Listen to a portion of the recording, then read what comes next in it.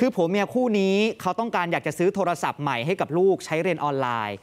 ระวังทุกทางที่มิจฉาชีพมันจะหลอกแล้วนะฮะเลือกจ่ายเงินปลายทาง เลือกถ่ายคลิปเอาไว้ก่อน ป้องกันว่าจะได้ของปลอม แต่สุดท้ายไม่วายครับ เจอแบบนี้ฮะไม่น่าใช่โทรศัพท์หรอกวะมันหลอกเดี๋ยวนี้มันหลอกกันเยอะนะไม่ได้นะพี่ต้องเกือบพันห้าเงินหายากมาก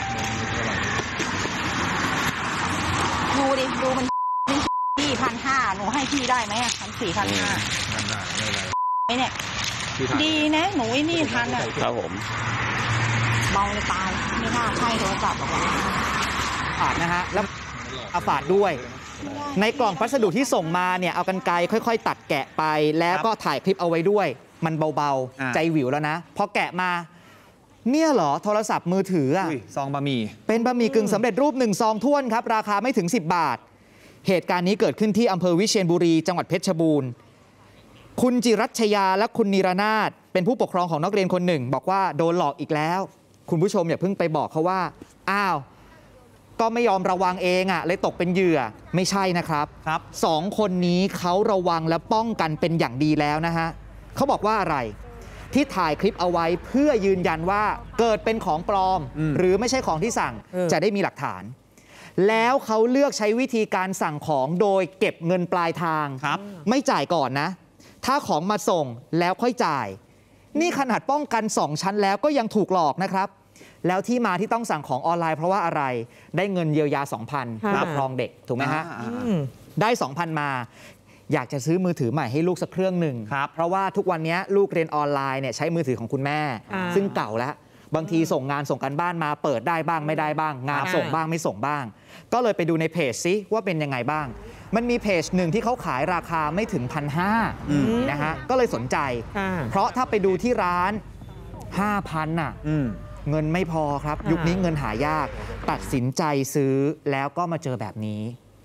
ค่ะนะฮะ เนี่ยโดยนางจิรัชยาก็บอกว่าทันทีที่เห็นนะคะ ว่าเป็นบะหมี่แบบนี้คุณผู้ชมบะหมี่กึ่งสำเร็จรูปเนี่ยตกใจโกรธด้วยนะครับโกรธตัวสั่นเลย ไม่คิดว่าตัวเองเนี่ยจะมาเจอเหตุการณ์แบบนี้ แต่โชคดีที่เธอเฉลียวใจขอพนักงานเนี่ยแกะดูของข้างในก่อนก็เลยไม่เสียเงินค่ะ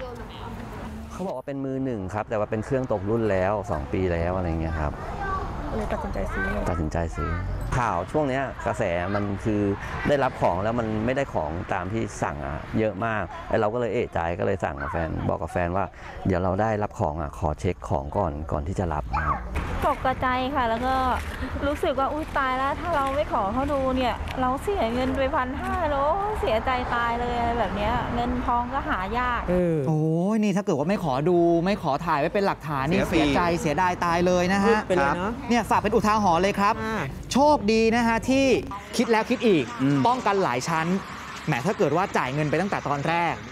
หรือไม่ได้ถ่ายคลิปเป็นหลักฐานเอาไว้อะครับหายากมากพันกว่าบาทนี่เสียเงินฟรีเลยนะศูนย์ไปเลยนะเรียกร้องได้เปล่าก็ไม่รู้นะฮะอ่าอะต้องระวังครับ แล้วก็ฝากเตือนใครคิดจะเป็นมิจฉาชีพ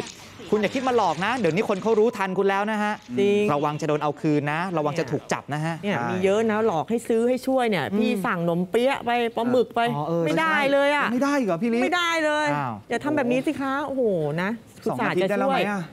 เป็นเดือนแล้ว เป็นเดือนแล้วด้วย เออโอ้ทำใจแล้วเอ้าช่วงนี้ใครจะให้ช่วยนะ โอนของมาก่อนแล้วเดี๋ยวพี่โอนเงินให้ทีหลังเออต้องปรับตัว เอเออออะต้องปรับตัวกันนะค่ะคุณผู้ชมครับ สวัสดีครับ ผมจัดทีมะ อย่าลืมกดไลค์กดแชร์กด subscribe YouTube ข่าวช่องวัน จะได้ไม่พลาดทันข่าวทันทุกเหตุการณ์ เปิดเผยทุกความจริง จากทีมข่าวช่องวัน เข้าถึงข่าวเข้าถึงคุณ